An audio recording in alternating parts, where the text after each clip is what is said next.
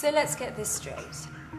You're now offering to relinquish all contact with the children in exchange for a number of suitable down payments. In a nutshell, You're offering to give my client something she already has in exchange for something she does not have. she can get it. What you're offering, Mr. Decker, is a threat. You're suggesting that unless she arranges money, she'll never be free of you. Even if the court gives anonymity, she'll always be looking over her shoulder, wondering who that figure is lurking in the shadows, wondering if all your threats of violence have finally come to light. Look at me. I'm not a violent man. I just lost my temper. What you are is a bully.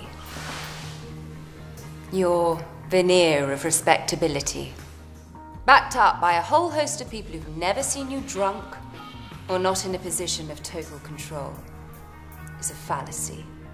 One which you yourself believe. My client, though, knows otherwise. I'll put your offer through to my client, Mr. Decker, along with my recommendation that she does not accept it. That if she does, it's only a matter of time until another payment becomes rightfully due. And they will continue to come. As long as you have the power to threaten the lives of your own children. Good day, Mr. Decker.